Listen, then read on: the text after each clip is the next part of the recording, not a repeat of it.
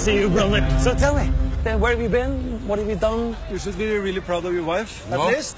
I mean, Frøya dove into that pillaging 100%. Even took part in quite a lot of the raping. Huh?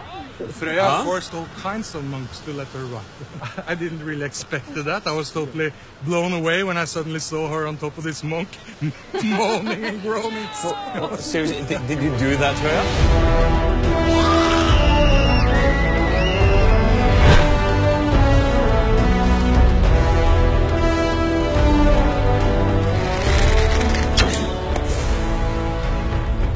What if I magically pulled off one of my thumbs and put it back on? You can't do that. It's impossible. Thumbs are stuck.